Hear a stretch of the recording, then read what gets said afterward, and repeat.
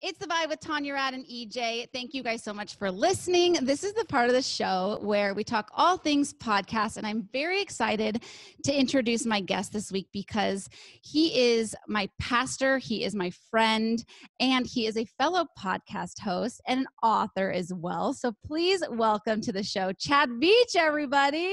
Oh, thank you so much for having me on. This is unreal.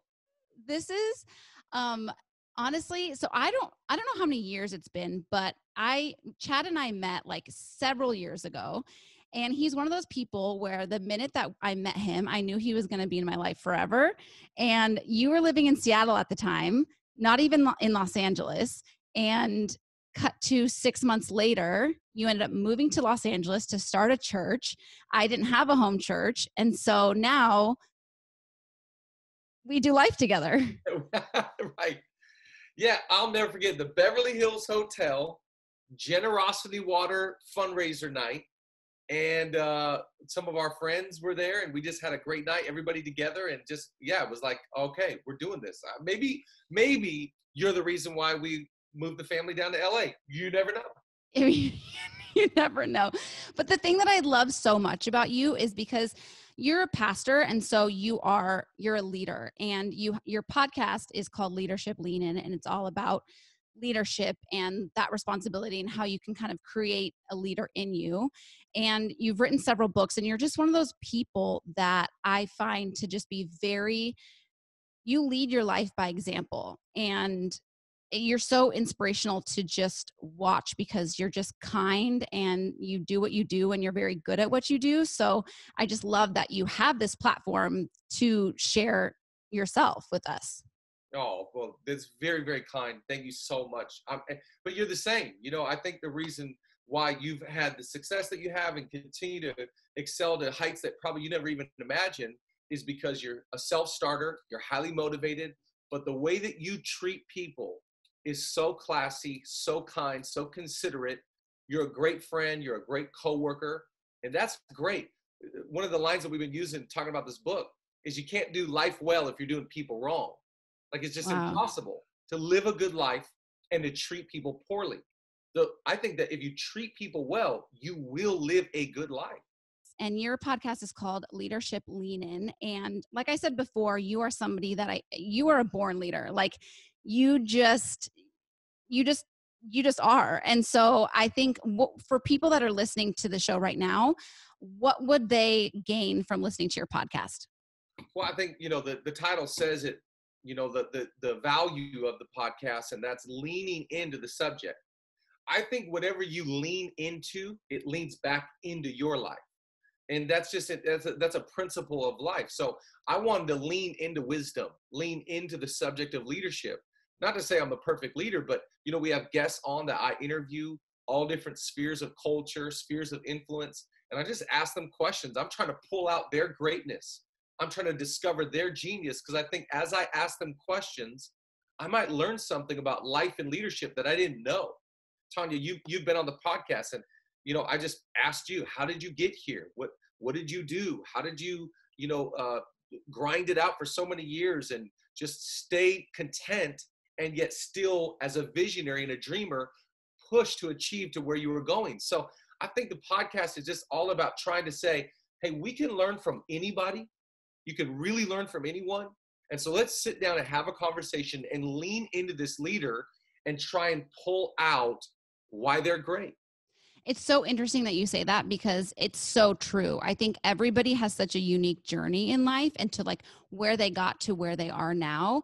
And so I think by listening to your podcast, and I remember when I was a part of your podcast, I think, you, you know, everybody's story is so unique and so it's just i think i think what really bogs people down is like they're like well i'm not you know a born natural leader and i i don't have it in me and it's like I didn't think I had this in me either. You know what I mean? Like you really just don't know. And so until you really, it's something that you hone in on and practice. And so I think by like sharing everybody's stories, you can really learn a lot about yourself. You can be like, oh, I resonate with that. I'm like that too.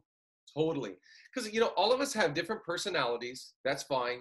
You know, everyone's so into the Enneagram or these personality tests. We all have a different, you know, personality, but no two people are the exact same. Yeah. We all have a uniqueness. The way I like to say it, is that we're all a designer's original. You know, God made each of us. He fearfully and wonderfully created us with genius in us. So, So, if, if God made us, He didn't make mistakes. So it, life is about discovering what is the greatness that's in me and how do I pull that out and put it on display for the world to receive and experience.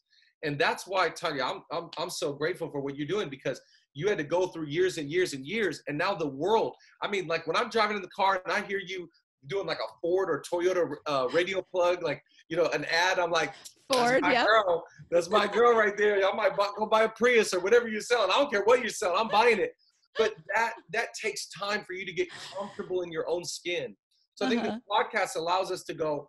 I'm I might not be like that person, but I can receive a lot of the knowledge and understanding they have, a lot of the wisdom from their you know failures and their and their successes. and i think for for people that are listening i think something that you do really well chad is you you can give tangible actual um i don't know what the word i'm looking for a tangible actual uh things that people can do like takeaways that you can actually like write down and learn from and sit down and digest. I feel like every time i listen to you i i constantly i create like a notes page in my phone because there's so many digestible things that i can actually and practically you know weave into the way that i live my life. And so i think for people that are listening i think leadership lean in this podcast is going to be really beneficial because you really do have tangible takeaways that we can incorporate into our lives you know I, I just- I believe in that with all my heart. I you know i still like twitter. I know i'm old i'm 40 but i like i like twitter because i like we call those handles. You know i don't know if you've ever like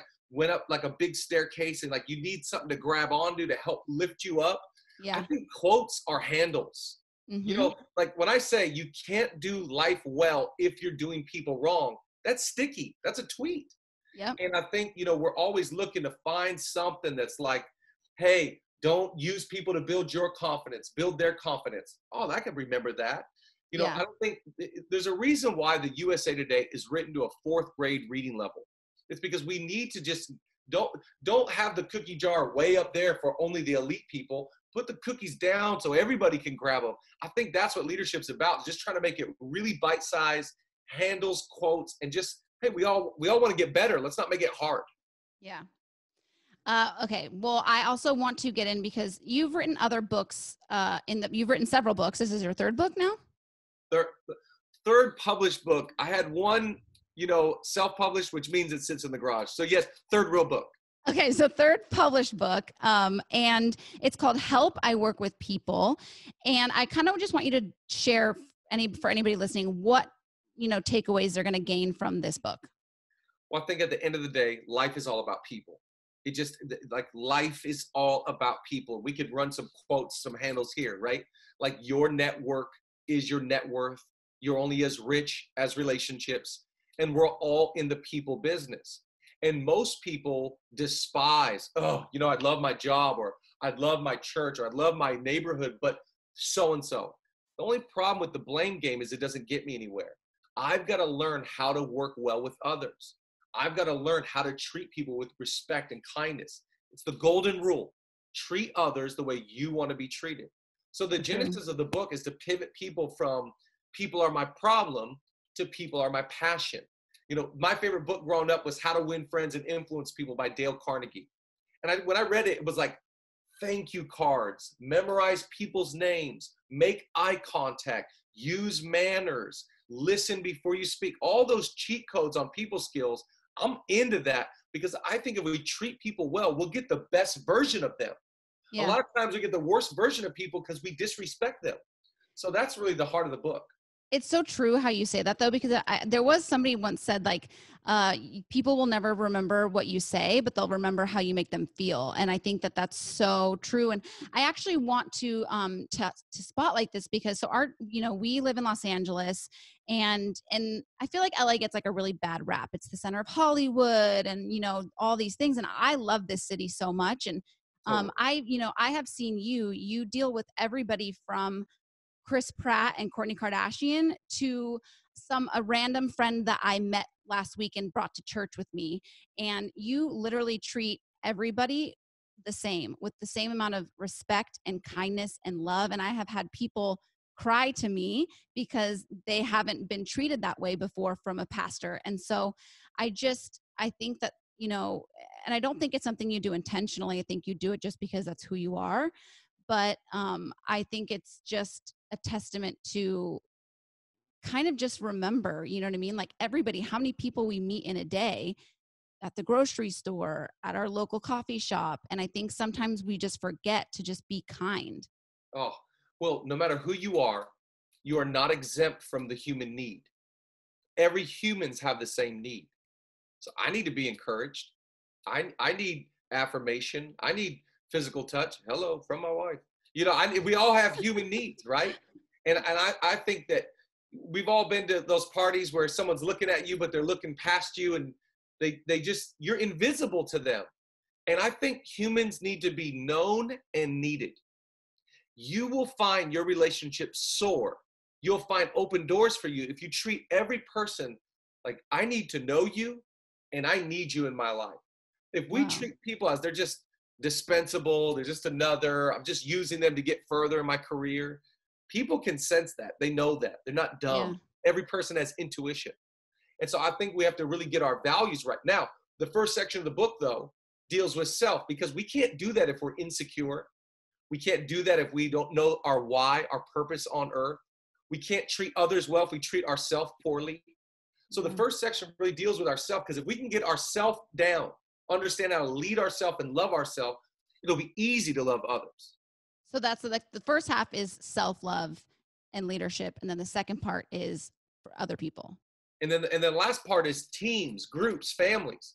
You know, a lot of our problems are in our families, family mm-hmm. dynamics, sibling rivalry. There's issues at home, divorce, and so it starts with me. Then it goes to my relationships, and then it's the the team, the family, the group. So that's really the three sections of the book. That's amazing. I mean, I know obviously if you're listening, you can hear the passion in your voice, and it's just eh, everything you do. I am just uh, such a fan. I love to support. I think you're an incredible leader, and I hope everybody checks out this book. It's called Help I Work with People. Uh, Chad, where can people get the book? Um, you can go any uh, Barnes and Noble, Amazon, any retail outlet, or you go to my name, chadveach.org, and you can purchase it there. Awesome. And then the podcast, uh, uh, Leadership Lean In, you can listen to that wherever you get your podcasts. Chad, thank you so much for taking the time today. We love you and can't wait to see what you do next. You're the greatest ever.